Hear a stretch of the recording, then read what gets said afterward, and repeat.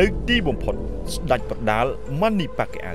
បានក្លាយទៅជាប្រធានគណៈបកកាន់អំណាចរបស់ហ្វីលីពីន PDP ហើយត្រូវបានគេព្យាករថា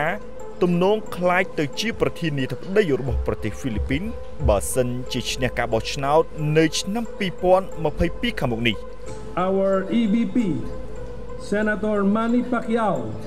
to assume party leadership and strengthen the party fair but firm that is the kind of leadership that you can expect from Manny Pacquiao as PDP Laban លោកម៉ានីប៉ាកេអាវដែលគេបានស្គាល់ថាជាស្ដេចប្រដាល់អាស៊ីហើយលោកក៏ជាសមាជិកព្រឹទ្ធសភាហ្វីលីពីនផងដែរនោះបានក្លាយទៅជាប្រធានគណៈបកកណ្ដាលអំណាចរបស់ហ្វីលីពីន PDP ដោយក្នុងនោះប្រធានាធិបតីហ្វីលីពីនឌូតេតេដែលជាសមាជិកបក PDP បានធ្លាក់នៅក្នុងការបោះឆ្នោត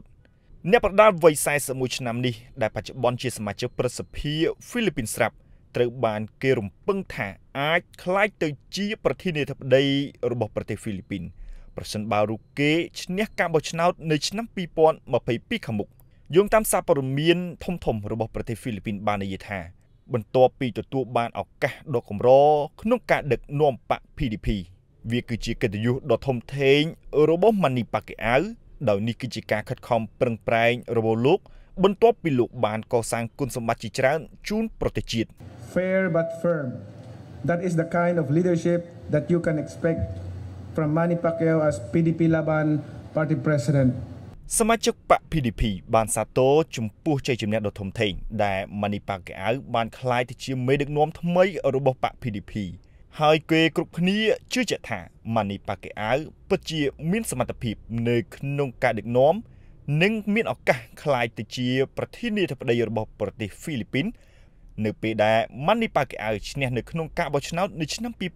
2022ក្រោយពីព័ត៌មាននេះបានធ្វើការផ្សព្វផ្សាយល្បីខ្ទោខ្ទានៅទូទាំងប្រទេសហ្វីលីពីន អ្នកគ្រប់គ្រង Manny Pacquiao ស្ទើរតែពេញផ្ទៃប្រទេស បានសាទរចំពោះជ័យជំនះមួយនេះដោយពួកគេបានលើកឡើងថា គ្មានអ្វីត្រូវគិតច្រើននោះទេក្នុងការបោះឆ្នោតឲ្យ Manny Pacquiao ក្លាយជាប្រធានាធិបតីហ្វីលីពីនឧបត្ថម្ភធំដោយ